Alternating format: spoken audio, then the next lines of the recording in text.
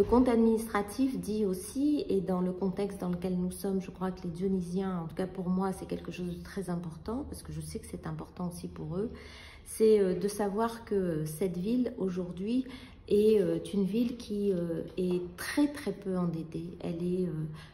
endettée bien en deçà de la moyenne des villes de France, c'est-à-dire vraiment très peu. On a une épargne nette de plus de 19 millions d'euros. ça veut dire qu'aujourd'hui, en tout cas demain, s'il y avait un coup dur ou un investissement particulièrement important à faire, la ville serait en capacité de faire euh, un emprunt, d'abord parce que sa signature est sérieuse et euh, ensuite parce que euh, on a suffisamment bien géré pour ne pas être endetté à ce stade. Et ensuite, et ça c'est très important pour les citoyens, c'est voilà, il y a des dotations de l'État, il y a des impôts que les gens payent, dont le taux n'a pas été augmenté, je le rappelle, le conseil municipal euh, euh, n'a pas augmenté le taux d'imposition sur cette ville et ne, l'augmentera pas.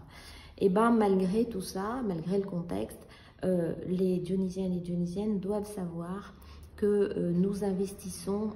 plus tant dans le fonctionnement, c'est-à-dire dans le service public qui leur est offert, que ce soit en sport, en culture, à l'école, l'entretien de la ville. nous dépensons plus que la moyenne nationale de villes euh, euh, euh, aussi importante que Saint-Denis.